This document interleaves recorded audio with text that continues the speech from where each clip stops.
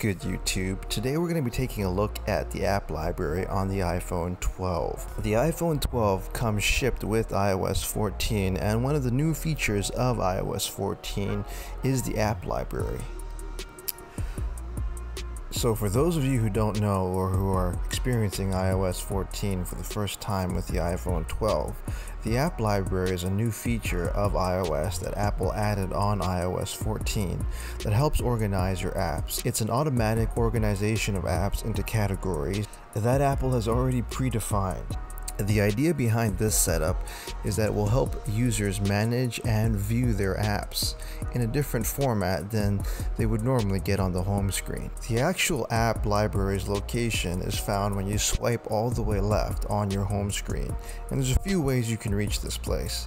You can do it the normal way by just swiping through your home screen pages left until you reach the app, library, or alternatively, you can slide your finger on the dots at the bottom of the home screen icons all the way to the right until you reach the very end, and one more swipe will get you to the app library. Here you'll see at the top of the screen the app library search bar and the categories of apps organized into 2 by 2 squares. If you're looking for a specific app that you couldn't find on the home screen, you can go ahead and type it in the app library and it should pop up fairly quickly.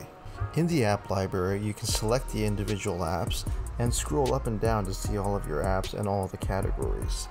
If you want to see all the apps in a given category, find a box with the 4 app bar at the bottom right and tap on the 4 app bar.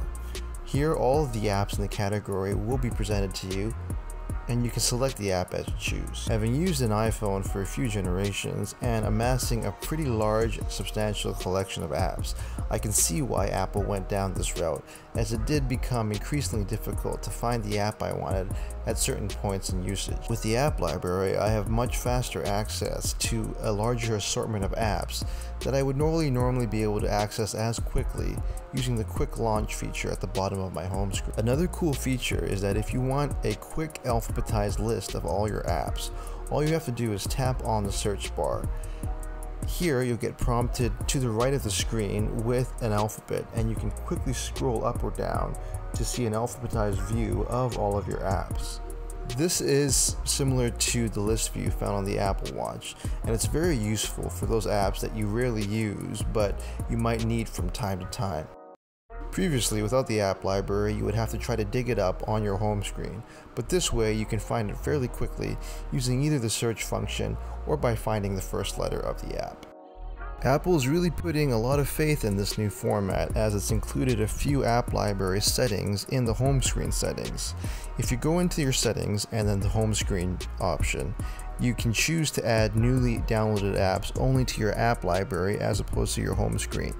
This is useful if you have a customized iOS 14 home screen that you've customized and gotten to just the way you like it, and you don't want new apps to distort your customized home screen setup. Overall, I'm a fan of this app library as it really does jive with some of the new features and organizational implementations found in iOS 14. So what do you think? Do you like this new app layout that comes base with iOS 14 and the iPhone 12? Leave a message down below.